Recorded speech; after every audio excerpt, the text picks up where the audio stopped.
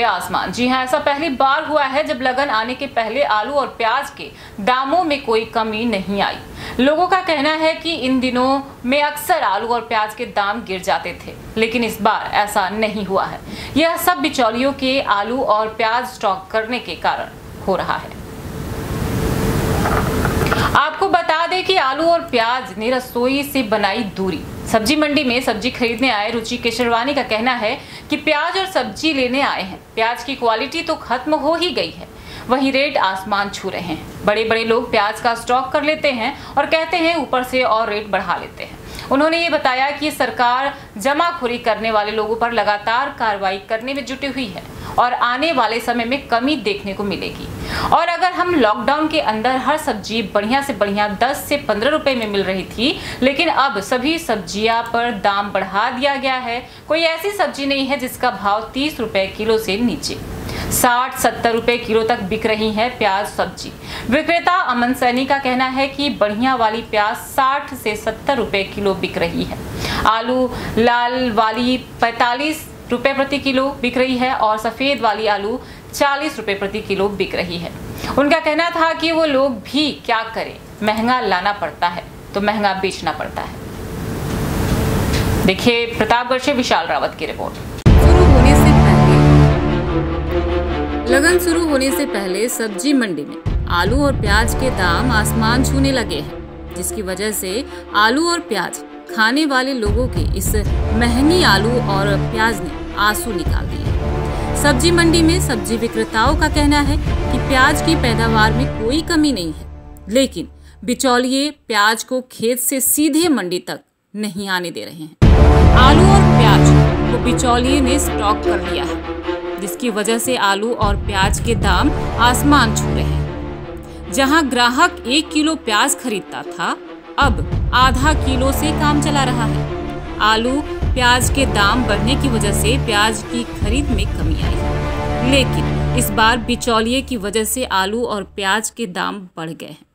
पहली बार ऐसा हुआ है कि जब लगन शुरू होने से पहले ही बढ़े आलू और प्याज के दाम इस साल लगन शुरू होने से कुछ दिन है। इससे पहली बार आलू और प्याज के दामों में इतना उछाल देखा गया। है वेज या नॉन वेज दोनों ही तरह के खाने की थालियों में प्याज नहीं है। इसी तरह सब्जियों में स्वाद बढ़ाने के लिए आलू और प्याज का सब्ज़ी बनाने का प्रयोग बड़ी मात्रा में होता है। लेकिन इस बार आलू और प्याज के दामों में जो उछाल आया है, उससे आम, गृहिणी, रसोई में प्याज से दूरी बना ली। लेकिन आलू और प्याज फुटकर रेट में 60 से 70 वहीं आलू के दाम 40 से 45 रुपए प्रति किलो के भाव बिक रहे हैं। बाहर से नहीं आ रही है प्याज। प्रतापगढ़ में सब्ज़ी मंडी में प्याज के बढ़ते दाम के लिए फुटकर दुकानदारों आशीष केसरवानी का कहना है कि अभी बाहर से प्याज नहीं आ रही है, लेकिन लगन में प्याज के दाम कभी नहीं बढ़ते।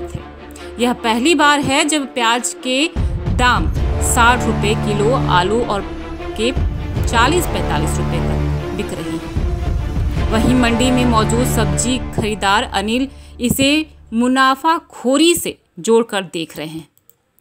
स्थानीय स्तर पर बड़े व्यापारी आलू और प्याज का स्टॉक किए गए हैं, जिसका खामियाजा आम नागरिक को उठाना पड़ रहा है। जो लोग दो से तीन किलो आलू प्याज खरीदते थे अब वह मात्रा आधा किलो प्याज ही ले रहे हैं। वहीं इस मुनाफा खोरी में सरकार की भी मिली भगत बताई जा रही है।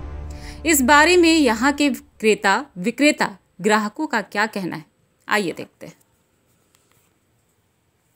इस बार आलू और प्याज के दाम काफ़ी बढ़ोतरी हो। गई कितने जो है रसोइयों पर इसका फ़र्क अरे जाइए आप। फ़र्क तो पड़ रहा है। लेकिन देखिए हमारे विचार से तो देश की सुरक्षा ज़्यादा ज़रूरी है।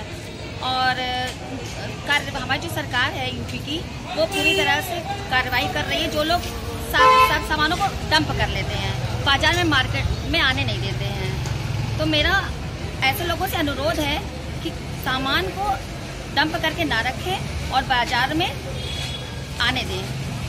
अभी जो है प्याज आप खरीद कर ले जा रही हैं आलू?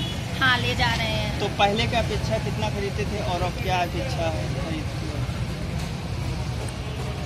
मेरे तो रसोई में कोई फ़र्क नहीं। पड़ा आपका नाम क्या है? रुचि के सरवानी। और प्याज के दाम लगातार बढ़ रहे हैं और आप कितना खरीद रहे हैं? जैसे पहले से मानिए फिफ्टी परसेंट आदमी ने खपत कर दिया है। जो आदमी दो किलो पाँच किलो खरीदता दो किलो वाला एक किलो खरीद रहा है पाँच किलो वाला दो किलो से ही काम चला रहा है। फिर जब आपने ऑफलाइन से खरीद रहा है ऑप्शन चीज़ें खरीद ले रहा है। मटर खरीद लिया फ्रोजन मटर खरीद के आदमी काम चला रहा है खबर पूरा मटर मिल जा रहे थे इससे वो काम चला रहा है। प्याज अभी इतनी नहीं पचास रुपये किलो साठ रुपये किलो वही अच्छी प्याज साठ रुपये किलो चल रही है।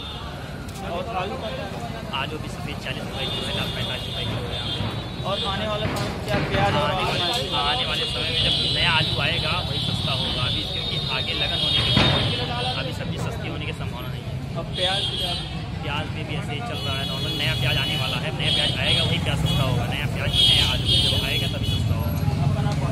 मेरा नाम आशीष के सवानी इस बार आलू और प्याज के दाम लगातार बढ़ रहे हैं। इस पर कितना रसोइयों पर फ़र्क पड़ा है आप चोर बाजारी हो रही है। गवर्नमेंट को दे रही है लेकिन बीच वाले खा जा रहे हैं। चोर बाजारी हो रही है। सब दम करके रखे हैं मार मार्केट में आने नहीं देते। हैं ब्लैक कर लेंगे। ये सब है भ्रष्टाचार है। पहले कितना आप आलू प्याज खरीदते थे और अब क्या स्थिति बन गई है। ठीक है लेकिन मोदी सरकार अच्छा।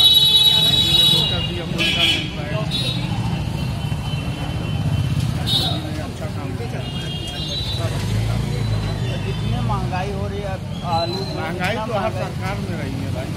आलू इतनी महँगी कभी आलू इतनी महँगी कभी नहीं रही लेकिन अब क्या किया जाए?